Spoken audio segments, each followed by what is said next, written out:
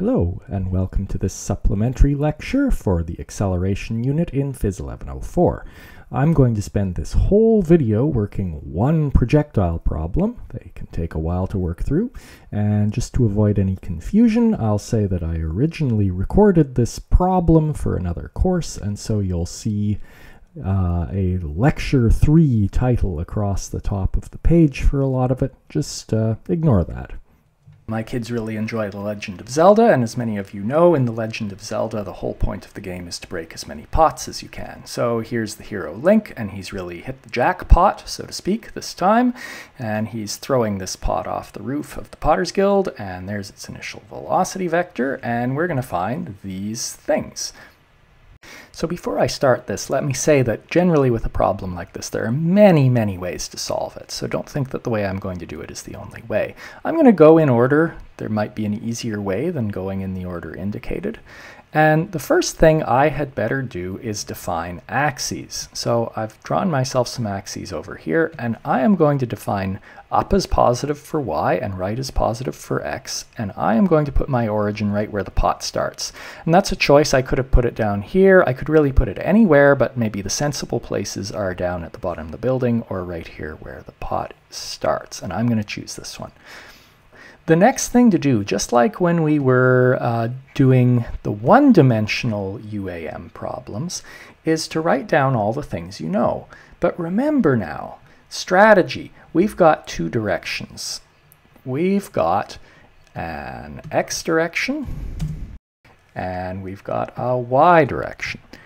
And they're separate and they don't affect one another. So I really recommend that you divide your page and do everything to do with x on one side and everything to do with y on the other side. And now start writing down your knowns.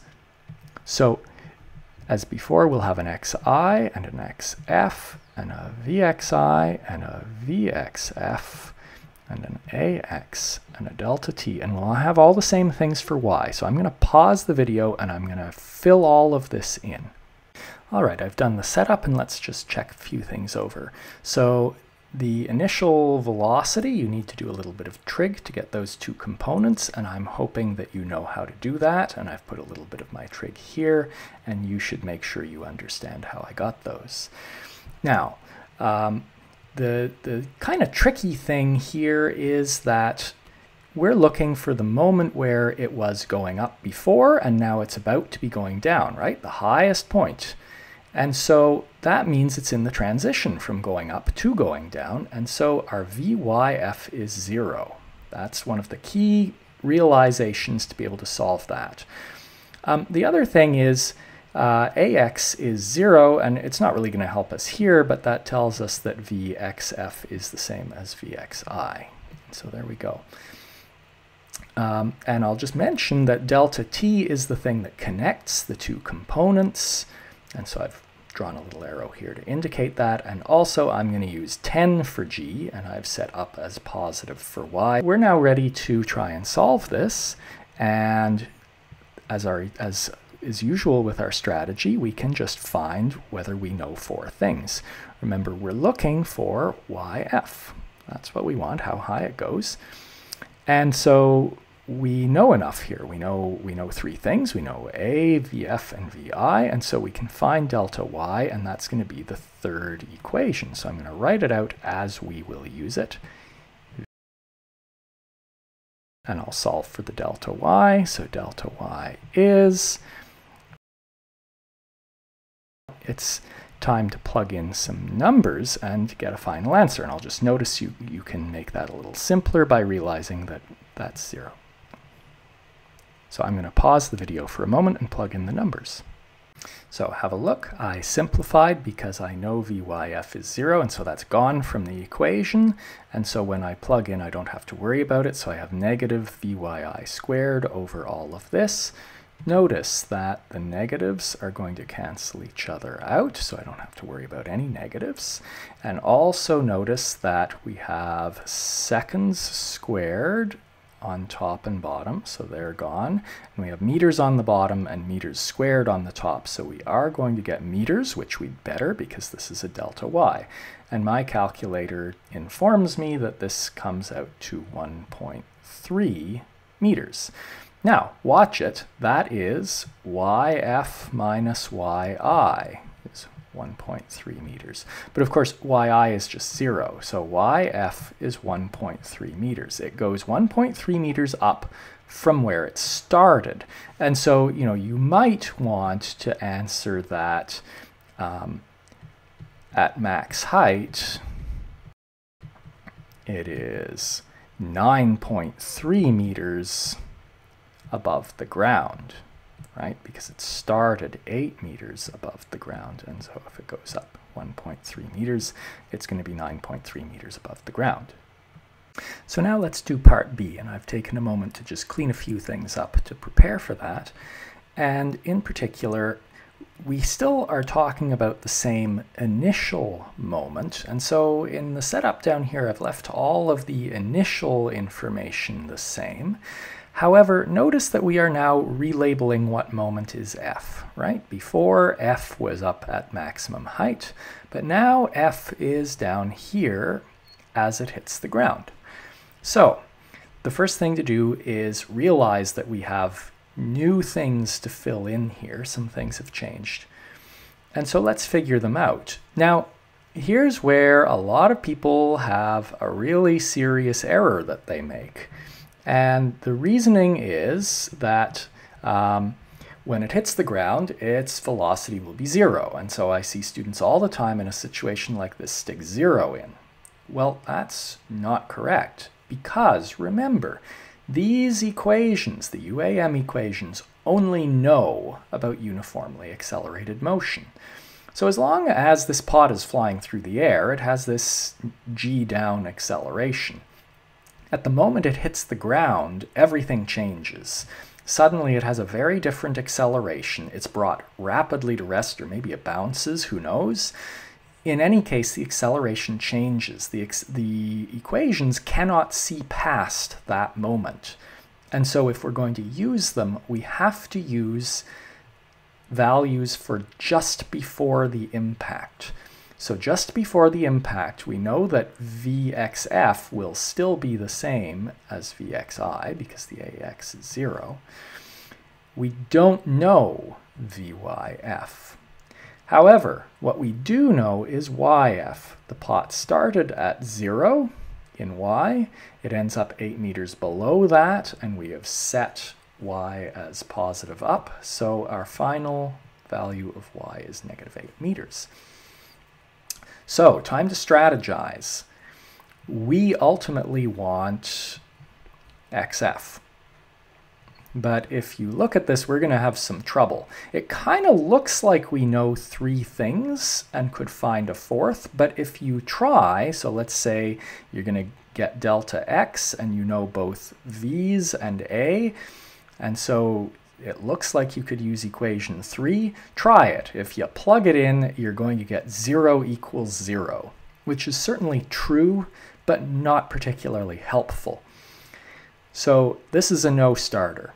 And so what we need is to find delta t, so we have another way of getting at it. Well, the y direction is what's going to give us delta t, because delta t is going to be found from finding out how long it takes it to get to the ground. So in that case, the easier thing to do, the, the direct way, is to say, oh look, we know delta y, we know vyi, we know a, we want delta t, and so that's equation 2. So let me write out equation 2 as we're going to use it. So Okay, and I can slightly simplify that because yi is 0. And if you look at that, you're going to realize that that's a quadratic. Okay, so I'm going to pause the video and I'm going to solve for delta t. You should try to do the same.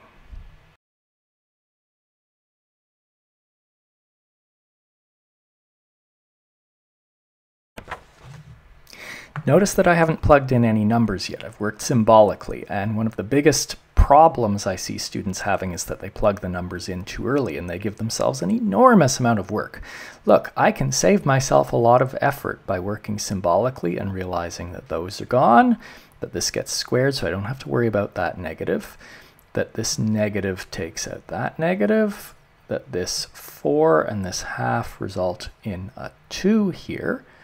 And so now I'm ready to plug in the numbers.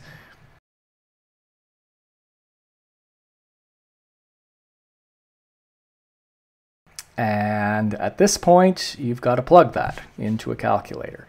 So um, be careful. We get two answers, and we'll have to discuss why we get two answers, but they are negative 0.85 seconds. Check the units, right? Meters per second squared. This is meters per second. This all comes out to meters per second, and so all that's left is a second. So we get negative 0.85 seconds or 1.87 seconds.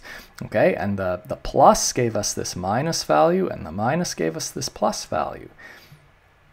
Let's talk about why. Why did that happen? Well, I mean, we're looking for an answer in the future. So clearly our answer is this 1.87 seconds, but where, where the heck did this one come from?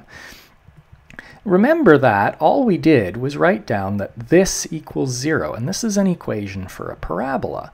Well, you know, equations are pretty dumb. They don't understand anything. And so this equation is obligingly saying, oh, you want to find when this parabola is zero. And there are two times, one here and one here, right? Well, of course, the pot was never here. It started here, but the equation doesn't know that.